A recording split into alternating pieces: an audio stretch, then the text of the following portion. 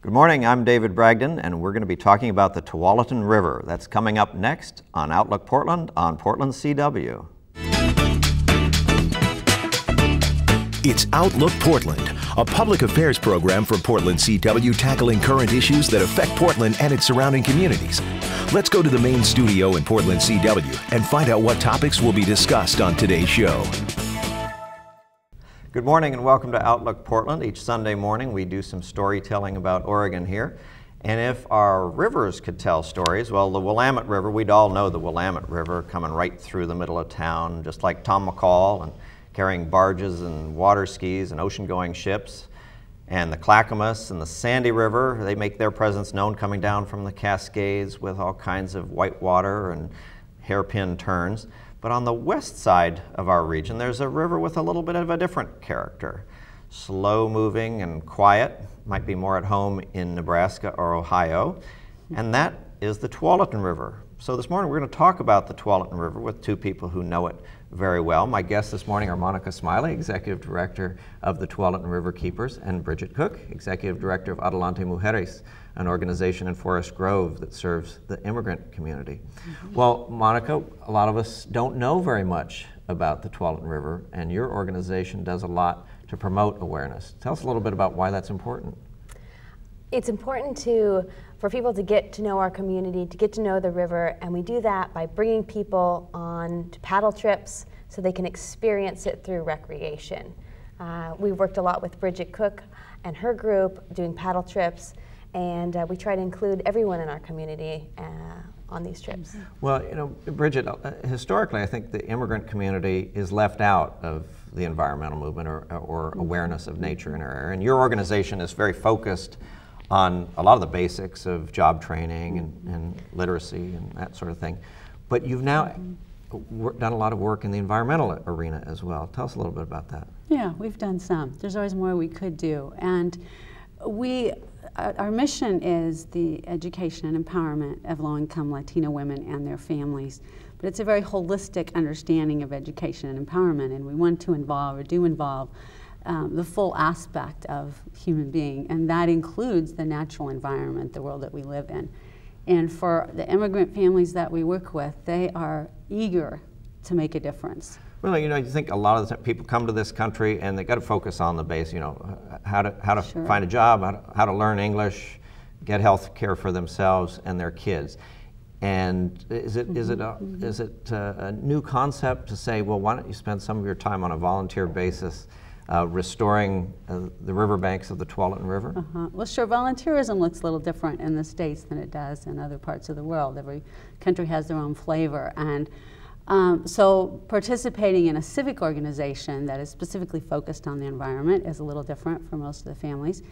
They come from, a lot of them come from rural environments. Their experiences of watching the sheep uh, and as they were growing up, being the sheep herders, tending the flock, um, going out to you know, walk half a mile to gather water. And that, that connection with the environment is very important for all of them. So they want their kids to have a similar experience. Well, describe some of the countries of origin where, where people are coming from. And the, the environment's sort of an afterthought in some of those places, isn't it? Most of our families um, come from Mexico and Central America, Guatemala, Honduras, El Salvador it might be an afterthought, but it's very central to their livelihood. And when they've come from a place where they have seen the rivers dried up, where they used to go fish, or they have to walk further and further to get drinking water, they're very conscious of how important that is. And for many of them, they've ended up in the Tualatin Valley watershed because it's so beautiful. Mm-hmm. They really appreciate this. They've spent time in California, they've spent time in Arizona, maybe Texas.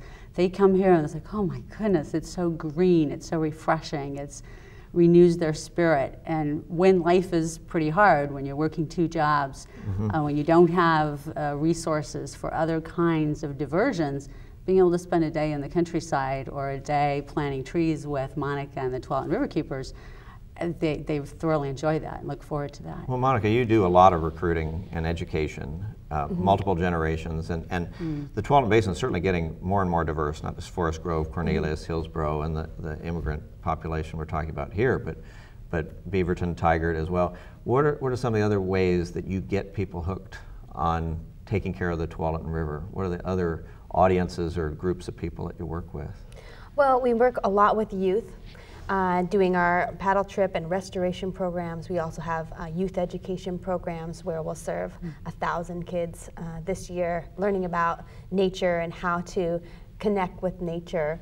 Uh, so um, Bridget's population is, is one that we've been disconnected from because of the language barrier. We have small staff and minimal resources, so we like to plug into groups that uh, have that, who we share values with, and can help us connect with people that maybe haven't been served well, well before. Yeah, I think mm -hmm. that uh, historically I've always thought of sort of environmentalism and caring about nature, at least in Oregon, is sort of a white mm-hmm. bourgeois sort of, of mm -hmm. pursuit.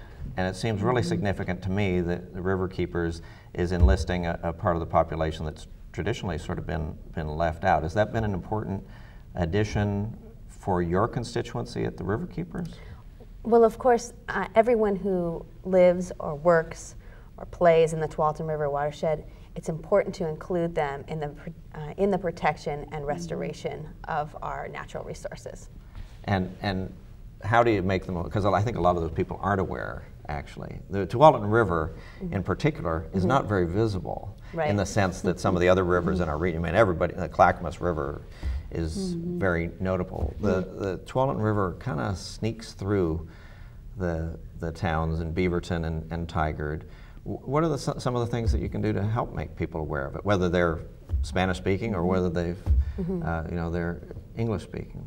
Well, uh, since the Riverkeepers was founded in the 90s, uh, our volunteers uh, have led over 10,000 people on canoe trips on the river. That's one of the things that we've done uh, with Adelante Mujeres, but it was our first outreach program, and recreation remains our first link, our first connection with people in the community. So people have primarily. to have to see it and use it and be able to touch it and mm -hmm. to really believe and understand the significance of it to the community. Although it runs through our parks, our neighborhoods, and our cities, um, as well as the rural area. Many people only know it from driving over I-5. That's right. No, if you're going, if you're driving, you see a, a, a, brown river meandering under I-5, and that's their experience. And it's just gone in a flick of a moment as you're, you're mm -hmm. zipping along at 60 miles an hour. They're just right near the city of Tualatin. Mm -hmm. I think a lot of people don't even realize they're crossing the, the Tualatin River. Right. And the signage has been, I think that's been a great development over the last uh, mm-hmm. five or ten years. That a lot of places now put up these signs that say, here's what, what mm-hmm. watershed you're in. Because mm-hmm. frankly, a lot of us live our lives without realizing any of that, that the water all has to go mm-hmm. someplace. Mm-hmm. Well, when we come back after this break, let's talk a little bit more in particular about kids and, and getting into the schools so sure. the next generation it kind of comes up with, with that awareness. And I want to talk about that a little bit more Great. when we come back after this break here on Outlook Portland.